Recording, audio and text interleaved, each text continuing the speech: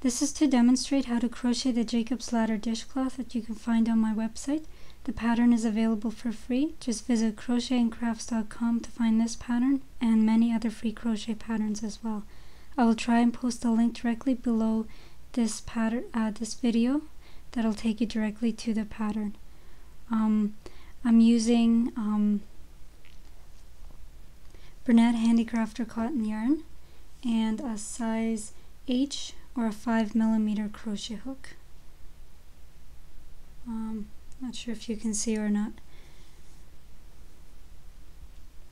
So to get started you just want to chain 29. I'm just going to make my slip knot. And I'm just going to chain 29.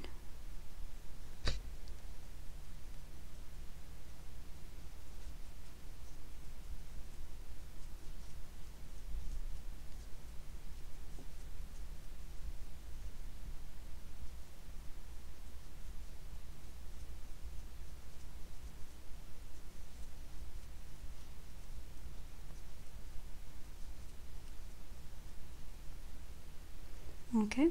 So then you want to um, double crochet into the third chain from the hook. So you just count over one two three and you want to work one double crochet into that chain right there.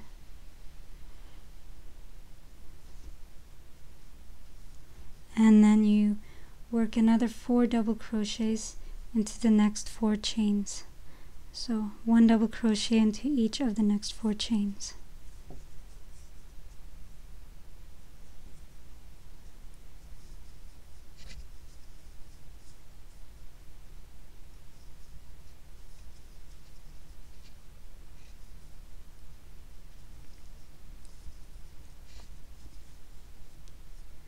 So you have five double crochets and then you want to chain six.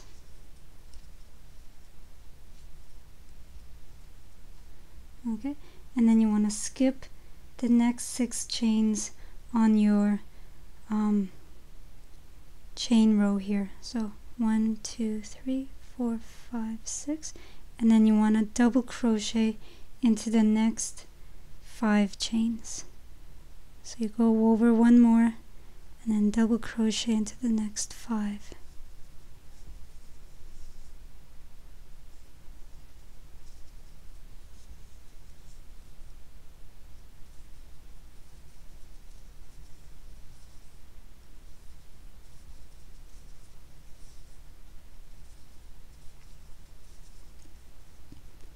Okay, so you should have six chains on the top and six chains on the bottom and then you want to do it again. You want to chain another six.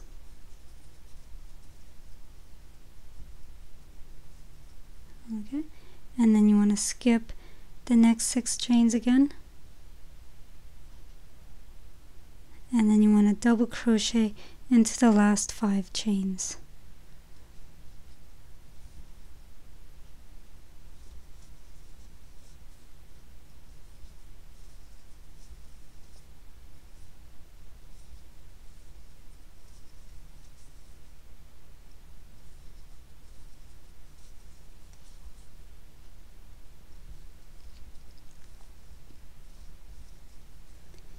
Okay, so that's your first row.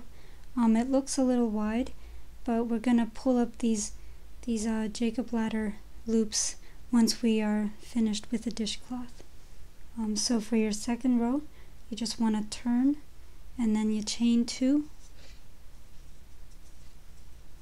and then you double crochet into the first five stitches. So your first stitch is right there.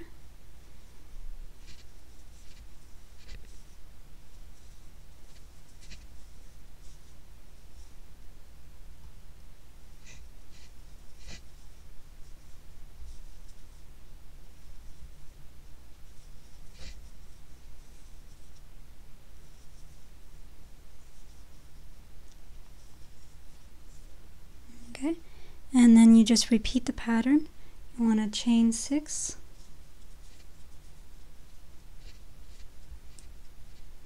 Okay. And then you want to skip the loop and then double crochet into the next five stitches. So you just skip all these chains and then double crochet into the next five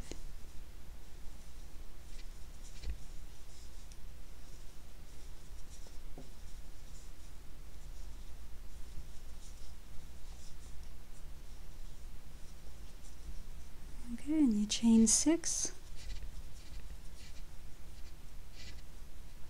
And then skip the loops or the chains and double crochet into the last five.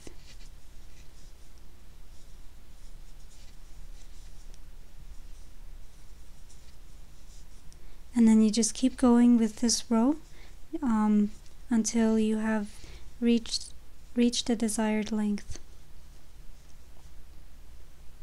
so I'm going to stop the video and I'm going to come back and I'll show you how to do the ending of it. Okay, so now I have um, finished my nine rows and I fastened off my work. And so now I'm going to pull up the Jacob's Ladders loops. And to do the loops you just want to take a hook um, that's slightly bigger. I'm using a 9 millimeter, but you can use any hook that you like and I'm just going to go underneath the first two loops and I'm going to take the second loop and pull it underneath the first one. And then I'm going to do the same thing, underneath, go underneath the third one and pull it through the second one and you just keep doing that all the way to the top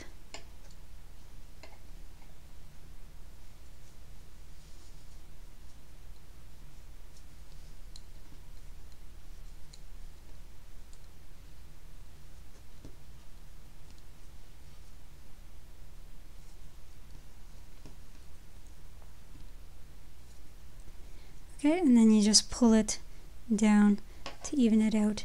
And you can put a stitch marker into this loop to keep it from uh, becoming undone. And I'm just going to use a big um, knitting stitch marker here. And then you do the same thing on the other side